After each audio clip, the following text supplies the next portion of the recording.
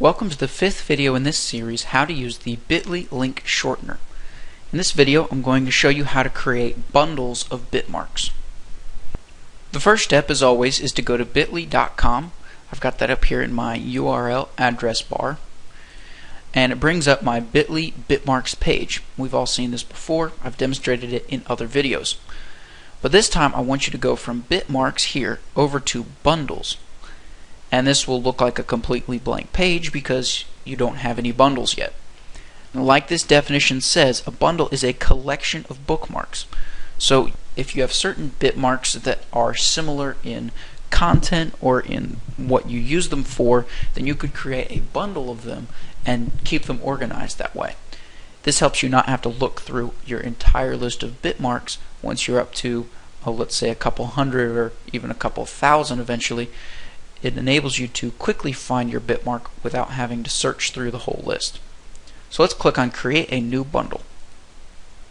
And the title of this bundle will be YouTube videos. The description could be YouTube channels or videos I liked. And then you could choose whether to make it a private or public bundle and click make bundle. Alright, so now we have a empty bundle. Oh dear. Let's add some bitmarks to that bundle so that we can expand it and have it actually serve a purpose.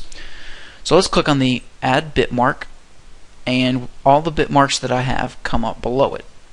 So I'd like to add these two, this YouTube channel one and this YouTube channel one. So we'll click on mine first, good, and add another bitmark. Let's add this one. So now as you can see, this new bundle that we've created called YouTube Videos now contains two different bitmarks. One is to the Dr. Gary North site, which is a YouTube channel that I appreciate learning from. Second is my personal YouTube channel, the BA at 17 videos. Okay, so this over here is just some information about your individual bundle. If we refresh it, you'll see that it goes to two bitmarks because we've added two.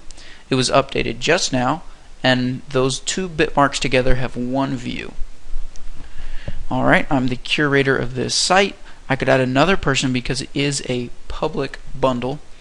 Reorder, hide them, delete the bundle, all kinds of stuff you can do. But the important part is just that you can organize them so that you can find your bitmarks later. Otherwise, if you can't find the bitmark, it really defeated the purpose of creating that short customized link. Alright, that will do it for the bundles video. In the next video, I'm going to demonstrate how to use another tool called the add bitmark tool.